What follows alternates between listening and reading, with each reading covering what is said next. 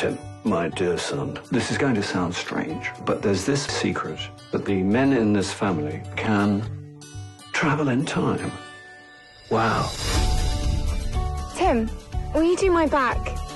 Oh, oh, no. Okay, stop. How would I actually... Go into a dark place. Think of the moment you're going to, and you'll find yourself there.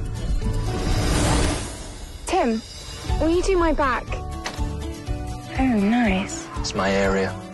Any first thoughts? It would be really great if you could help get me a girlfriend. Wow. Massive. I'm Tim. I'm Mary.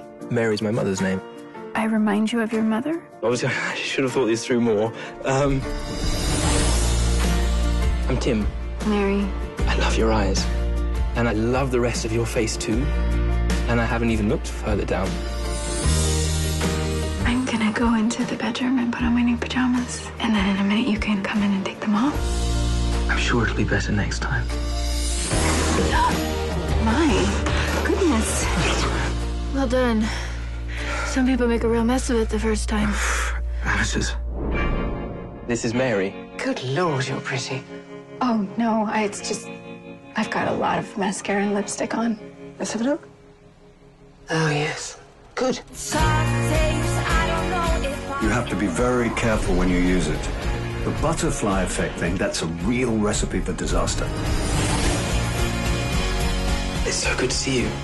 We've never met before. Oh, no.